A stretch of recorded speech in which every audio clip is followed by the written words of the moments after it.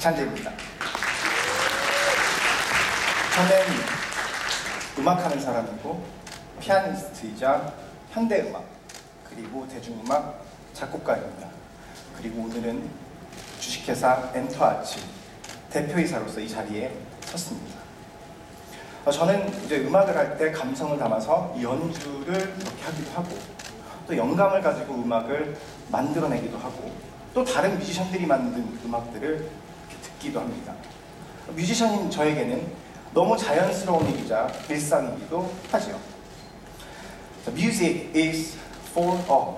음악은 모두의 것, 모두를 위해 존재한다. 너무나도 당연한 것 같은 이 문장. 아, 이렇게 대중음악을 하는 사람으로서 좀 더 깊게 생각해 볼 주제이기도 합니다.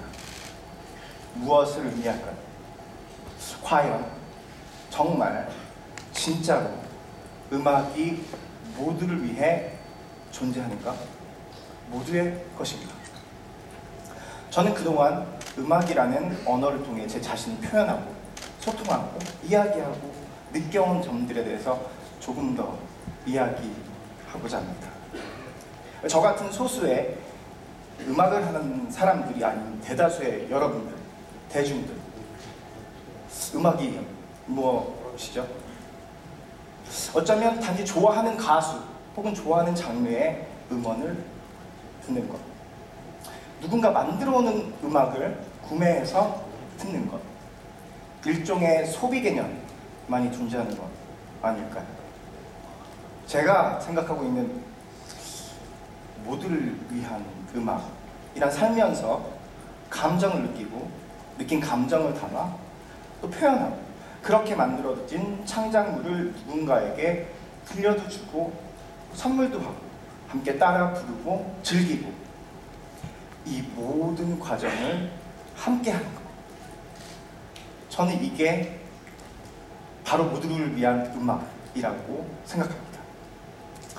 단순히 대중으로 음악을 듣기만 하고 소비만 하는 그런 입장이 아니라 음악의 모든 과정에서 주체, 주인공이 되는 것. 저는 이것이 진정한 의미의 music is for all 이라고 생각합니다. 제 앞에 계신 여러분 모두 오늘부터 작곡가입니다. 이게 어떻게 가능한지에 대해서 설명드리고자 오늘 이 쇼케이스트를 준비했습니다. 자, 누구나 음악을 만들고 공유하는 방법. 저는 우선 기존과 다른 새로운 도구가 필요하다고 생각합니다. 지금까지 음악을 위한 도구는 무엇이었을까요? 아주 오래전 원시 시대 손 하나를 가지고 손뼉을 치며 노래를 부르고 다 같이 음악을 즐겼던 시절 원시 시대 돌멩이를 가지고 리듬을 쳐가며 리듬을 맞추고 나무를 보며 나무를 깎아서 악기를 만들고 또 피아노를 만들고 기타도 만들고 여러 가지 악기를 만들고 과학이 발전하면서 신디사이저를 통해서 음악을 연주를 하고 컴퓨터를 통해 작곡을 하고 음악을 만들고 컴퓨터로 거의 뭐 대부분의 음악을 만든다고 해도 과언은 아닙니다. 자, 그럼 이 다음은 뭘까요? 더 무슨 미래적인 악기, 아니 무슨 머신이 등장할까요? 저는 반대로 아무것도 없었던 그때 손으로 돌아가는 건 어떨까? 내 손이 곧 악기이자 표현의 도구였던 그때야말로 누구나 음악을 만들고 즐겼던 시기였기 때문입니다. 모두가 내는 박수 소리처럼. 자, 다 같이 한번 박수 한번 쳐주실 수 있을까요? 감사합니다. 자, 이 박수 소리보다 조금 더 듣기 좋은 음악. 바로 AI, 인공지능이 손으로부터 나오는 가장 새로운 도구라고 생각합니다. 누구나 사용하고 공유할 수 있는 내 손안의 도구, 인공지능. 뭐 이미 인공지능은 음악의 장르, 감정, 길이, 클라이막스를 정해주면 자동적으로 배경음악을 완성해주는 그 수준까지 도달해 와 있습니다.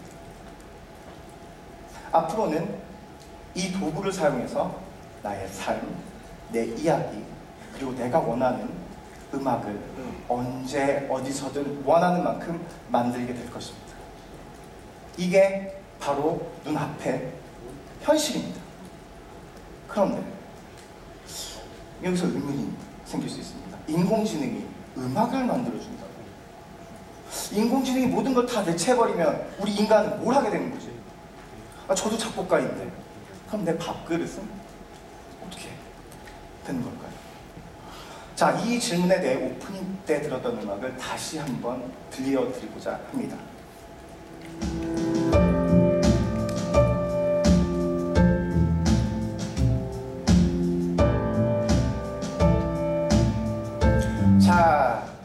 무 짧게 들려드리지만 이 음악은 인공지능이 만든 100% 인공지능이 만든 작품입니다.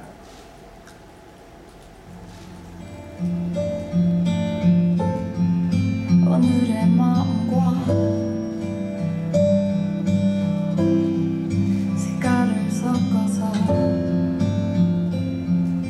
자, 이 음악은 작편곡가와 가창자가 인공지능의 음악에 살을 덧붙여 만든 작품입니다. 자, 여러분, 어떤 차이를 느끼셨나요?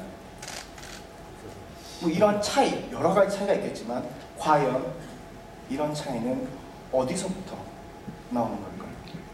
좀 어디에서부터 나오는 걸까요? 바로 life입니다. 인간의 삶이란 이름으로 흐르는 시간입니다. 그리고 각자의 삶은 다 다릅니다. 그 다름은 바로 개성입니다.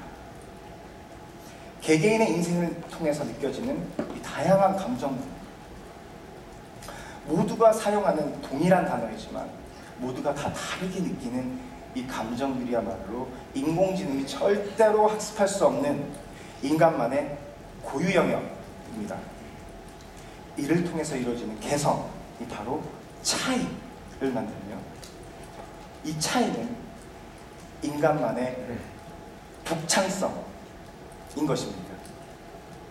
자, 지금부터 예술의 영역에서 인공지능은 도구가 될 것이며 여러분들의 개성은 이 도구를 사용하는 데 있어 가장 중요한 핵심 바로 심장이 될 것입니다.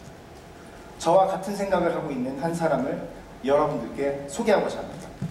저희 엔터아츠와 비전과 방향성을 함께하고 있는 영국의 뮤지션이자 주크대 공동창업자 패트릭 스탑스를 소개합니다. 뜨겁게 맞이해 주십시오. 네,